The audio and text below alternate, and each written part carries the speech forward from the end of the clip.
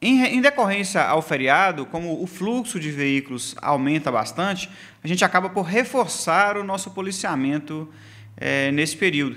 E tivemos realmente, em decorrência dessas operações, bons resultados, resultados bastante satisfatórios.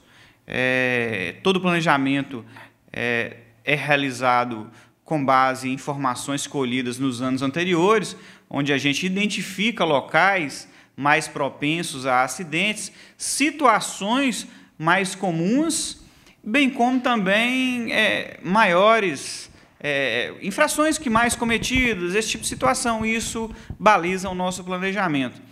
É, neste ano, conseguimos reduções significativas. É, no ano passado, nós tínhamos, tivemos 11 pessoas feridas durante o feriado em acidentes. Esse ano, apenas três pessoas se feriram. No ano passado, tivemos três pessoas que faleceram durante o feriado. Este ano, é, faleceu uma pessoa. É, a gente gostaria que não tivesse falecido nenhuma. Bem, e também é, uma situação que chamou bastante atenção foi a quantidade de pessoas inabilitadas em circulação. No ano passado tivemos 18 pessoas, esse ano a gente surpreendeu 30 pessoas inabilitadas. Sabe, isso é uma situação realmente que surpreende, porque a gente não espera mais que hoje, nas circunstâncias atuais, onde temos um grande volume de veículos, é realmente cada dia mais complicado, cada dia exige, se exige mais habilidade e responsabilidade ao volante para se conduzir nas nossas vias, pela movimentação, pelo aumento é, anual do fluxo de veículos. Então, assim, a gente se surpreende ainda em ver a irresponsabilidade da pessoa sem nenhuma preparação em conduzir um veículo não tendo habilitação para tal ou se embriagando, por exemplo, para sair. Nesse caso da embriaguez, por exemplo, a gente pode citar aqui essa morte no trânsito este ano. Ela foi causada por um cidadão que bebeu e conduziu o veículo. E detalhe, não foi ele que morreu. Então, realmente é uma situação complicada, né? O, o, o, rapaz foi lá no município de Almenara, ele fez uso imoderado de bebida alcoólica e depois saiu numa motocicleta, levando esse garoto para uma senhora e em determinado local ele perdeu o controle do veículo, caiu e a senhora bateu a cabeça, foi socorrida pelo corpo de bombeiro, mas não resistiu aos ferimentos. Esse cidadão ele foi preso e ele vai responder tanto pela embriaguez, como também ele vai responder por ter dado causa aí ao falecimento da senhora. Então, uma situação muito grave, muito complicada.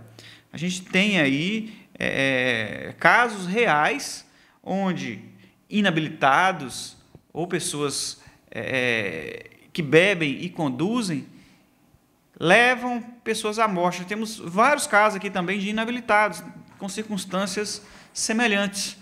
Então, é uma irresponsabilidade, é uma coisa que a gente aproveita esse espaço realmente para levar essas notícias à população e solicitar consciência e responsabilidade no trânsito. Comandante, com todos esses fatos registrados pela Polícia Militar Rodoviária, pode-se considerar o balanço positivo? Com certeza, com certeza o balanço é muito positivo. As reduções nas quantidades de acidente com vítima fatal, as reduções nos acidentes com vítima, né? reduzimos bastante a quantidade de acidentes com vítimas. E, na verdade, é uma redução que vem se acumulando né, ao longo dos anos. Nos últimos três ou quatro anos, a gente tem conseguido sempre reduzir.